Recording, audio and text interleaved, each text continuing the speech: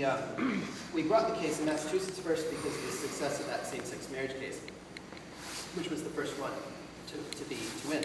Um, but then we did an analysis of all the states as to their likelihood of success in the courts based on the, the climate of the courts as well as the state constitutions. And it turns out that New Jersey is the best state in the country. And that the next best one is um, actually Montana and Hawaii. And then, unfortunately, North Carolina is not too high. I'm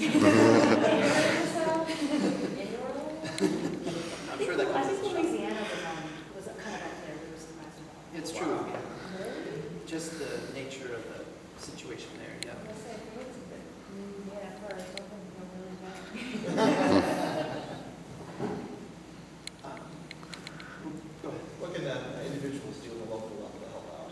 Well, um, keep an eye out for cases. We are definitely looking forward to taking more cases of this sort, um, not just on the under God question, but on other ones. For instance, um, I don't know if you talked about the Mississippi Assembly, but the, um, for those of you who know, there was an assembly, a Christian-only, uh, learn to come to Jesus type assembly in uh, Mississippi recently, and uh, they did it for each grade level, and what happened is that the student in there wanted to leave the room and not hear this assembly, and they told her and a few other students to go back and sit down and watch. Uh, so it was mandatory by any way to think about it. Um, and then um, they were going to do it for the other grades. And so that student contacted us and said, please intervene. And so we called the school and told them that they can't do that. That's against the rules. And, and um, they said, well, we're going to do it anyway. And so they did it for the other grades as well. And we um, sued. and so uh, for some reason, they haven't backed down just yet, but they are sure to lose this one. this one is a very solid case where they've mandatorily suggested that their students be exposed to even more than prayer. It's, it's evangel. It's absolutely evangelical video presentation. but we love to get involved in these sorts of cases in other places because we have an expanding team of lawyers who, who are ready to go and, and know that this is something that we need to get involved in. Speaking of a team of lawyers, do you have a resource list for us in North Carolina? Um, resource list. Like a list of lawyers that we need to contact? Oh, well, um, we do have a couple lawyers who are on our team in North Carolina. I don't think either one of them are Charlotte-based, but the, um, but we can help.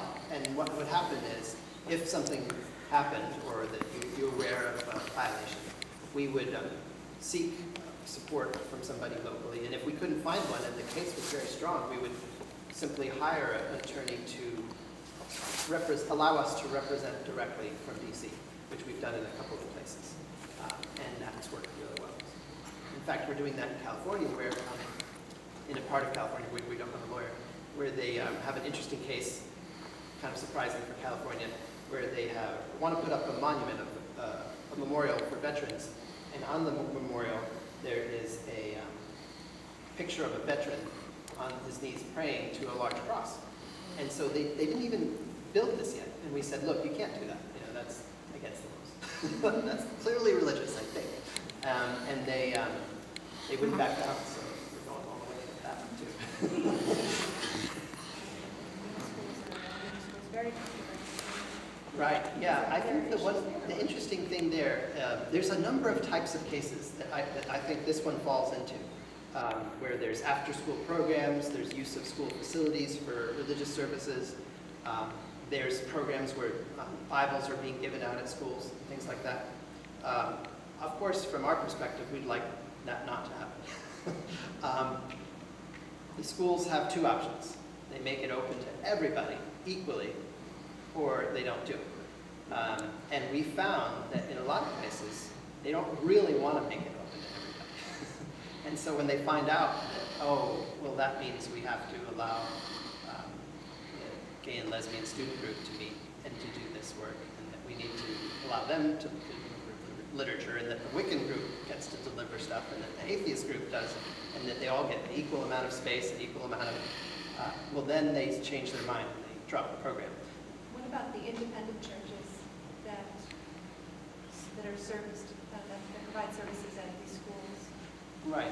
So the, the, where I'm going with this is that the school has to, um, it's fine for them to allow churches to do, to use their space for services.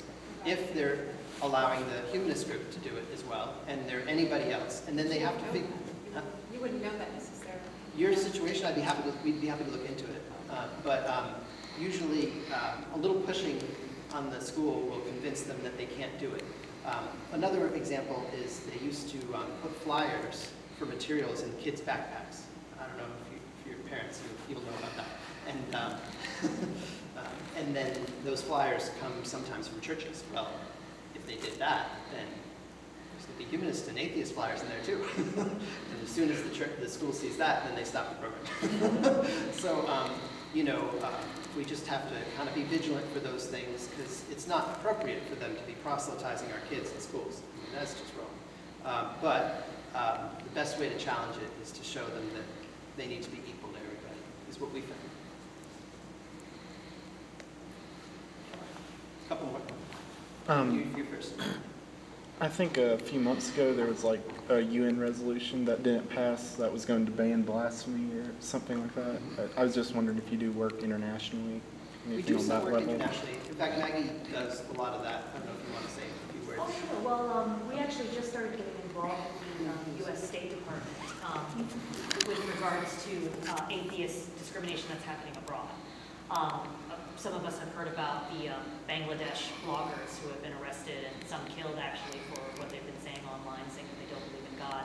Um, And there are particular cases in Egypt and I think Indonesia where atheists are being arrested. Um, And so we've actually petitioned and had meetings with the uh, U.S. State Department's Office of International Religious Freedom to talk to them about atheist discrimination because they issue an annual report um, on behalf of, you know, hundreds of minority religious groups, but they've never mentioned atheist discrimination before. They don't actually count it as a protected class under religious freedom, which, which is what basically we asked them to do last year. So this year, we're hoping that that actually translates um, into something in the report. And this report is important because it's used uh, for sanctions against other countries. So that's something that we're doing internationally. And the first report from the, their collegial group. Oh, yeah, so there's, um, there's another, done yeah. right, another, this is actually, so there's a State Department and then there's a group called the United States Commission on International Religious Freedom that's appointed by the President. And this group is another group that we've also been lobbying to recognize atheist discrimination. They just released their first annual report, oh, a couple of weeks ago, and they've mentioned atheist discrimination for the first time. So they're receptive, I think. that The people there want to be. Um, I think that we haven't been organized enough to actually utilize the facilities before. Um, And there's been some discrimination, some prejudice among some of the folks in the past. But today, I think the, the- the road is getting clearer and clearer um, for us to be more involved internationally. Uh, This, and this blasphemy issue, obviously, we want our State Department to, to not be um, trying to allow blasphemy initiatives to go through. And that, that specific item. Uh, So far, it seems you've been reactive. Do you have any plans to be proactive? Well, I guess it sort of depends on how you look at it. I, uh, I think of this under God case as very proactive in that we're trying to uh, move forward that envelope um, of church-state separation that exists today to include more things um, that it didn't, hasn't since, well, many decades at least. Uh, But I know what you're saying, and it's true, you know, the religious right uh, had been very powerful in the 1990s, and then, you know, through the Moral Majority and Christian Coalition, and then inculcated into government with George W. Um, and they're still there as part of the problem.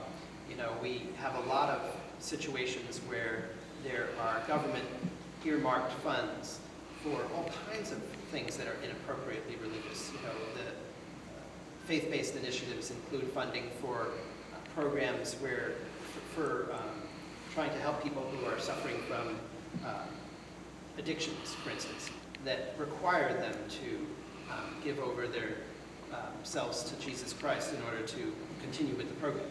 I mean, that's Higher power. yeah, and that's taxpayer-based stuff. Um, and so there's so much to fight. It's hard to be on the pro offense, but we're, it's, it's, we're so much on the defense. it's true. But um, we look for opportunities like that, definitely. The Trump website.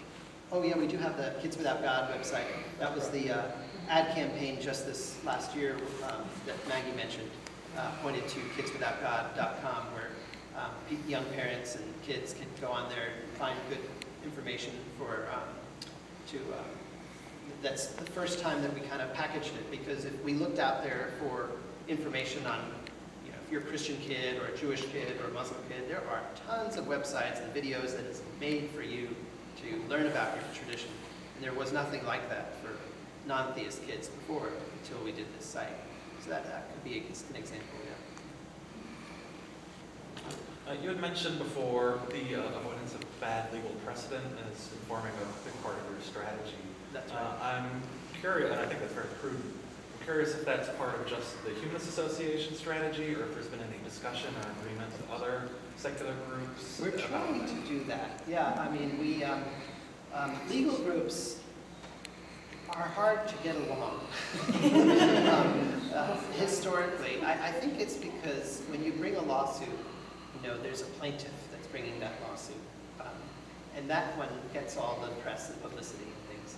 And so legal groups kind of are secretive amongst each other, and we're trying to inquiry in ways to try to um, move our strategy along in a cohesive way. In fact, we'll be meeting in the fall to discuss that as a group.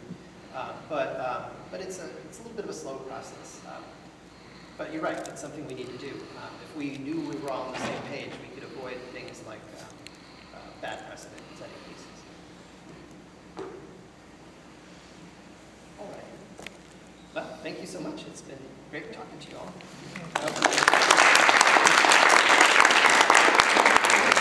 Definitely, one of the first things you should do become a member of the AHA if you haven't already. That's uh, very important if you want to help the work that they do.